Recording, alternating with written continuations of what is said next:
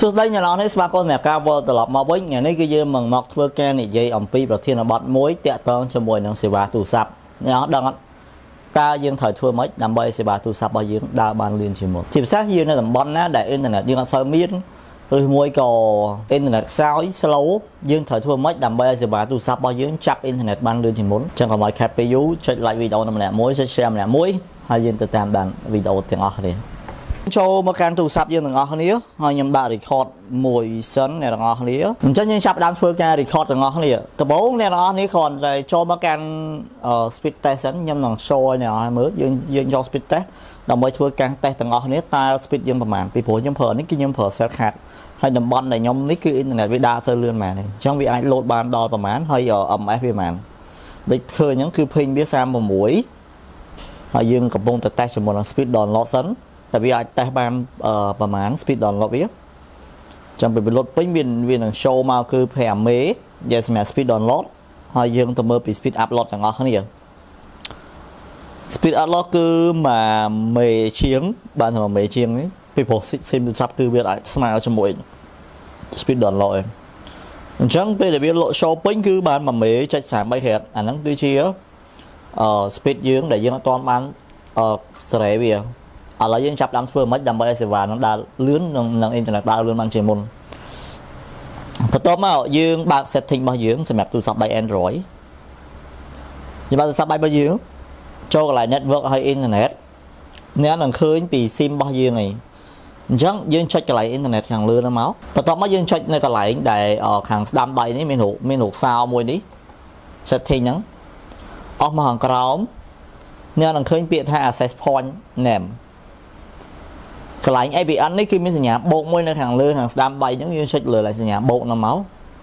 name នេះគឺយើងអាចកំណត់ set បានអាស្រ័យលើយើងយើងចង់កំណត់អីក៏បានដែរ name ហ្នឹងចុចខ្ញុំដាក់ GMK សម្រាប់ AVN គឺយើងវាយ cell card ពីព្រោះតែវាជា AVN របស់ cell card យើងអស់មកខាងក្រោមមួយអស់មកខាងក្រោមទៀតអស់មកខាងក្រោមទៀតអ្នកឃើញពាក្យថា authentication type ចុចលើវាមកហើយយើងយក PAP or chat អស់មកខាងក្រោមទៀតយើងនឹងឃើញ web ចឹងយើងអស់មកខាងក្រោមទៀតអស់មកខាងក្រោមទៀតយើងនឹងឃើញពាក្យថា barrier សម្រាប់ពាក្យថាបរិយានេះគឺយើងធ្វើការខរិះទាំងអស់តែម្ដង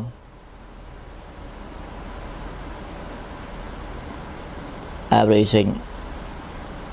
ខ្ញុំមើលទៅអស់នៅនៅទៀតនៅទៀតយើងករិះអស់ករិះអស់តាមដែលយើងអាចធ្វើទៅបាន ចំពោះកន្លែង APN protocol នេះ យើងយក IPv4 និង IPv6 ទាំងពីរយកទាំង roaming មួយទៀតចឹងយើង set តែប៉ុណ្្នឹងមក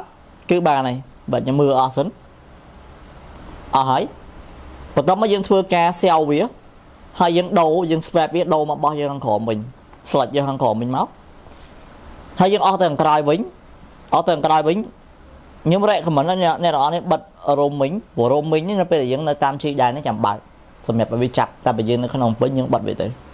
យើងបាច់បាច់ឲ្យវាចាប់ roaming ហើយ prefer network ថៃនេះគឺយកវាធ្វើអឺ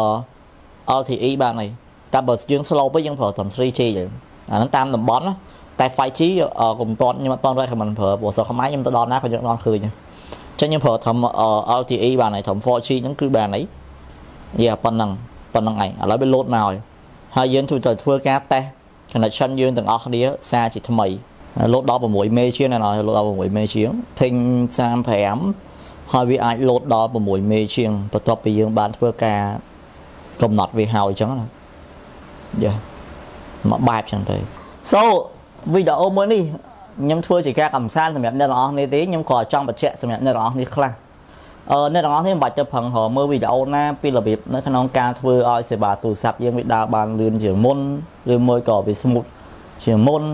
អ៊ីនធឺណិតយើងបានលឿនជាងមុនរកសេវារបស់អ៊ីនធឺណិតរកសេវារបស់អឺអ៊ីនធឺណិតតាមទូរស័ព្ទហ្នឹងគឺក្រុមហ៊ុនគេបានរៀបចំឲ្យអស់ហើយ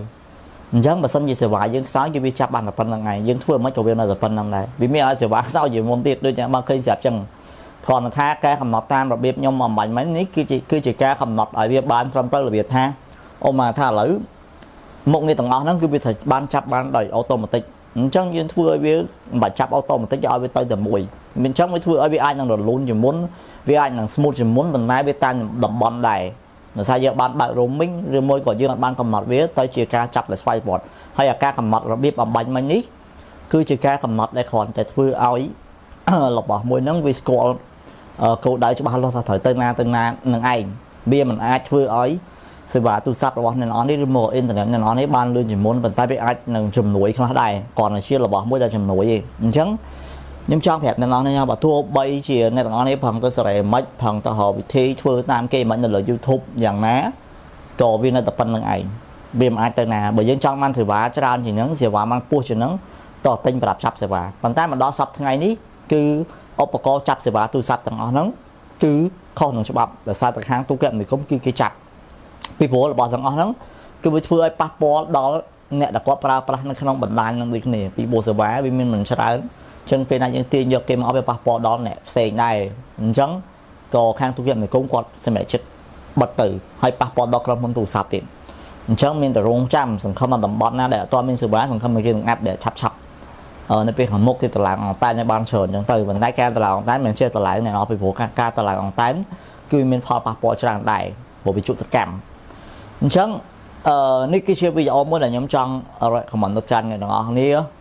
យើកុំឲ្យថាពិបាកនៅក្នុងការអឺហោមើលវិធីនៅក្នុងការធ្វើមិនឲ្យទូរស័ព្ទយើងដើរលឿន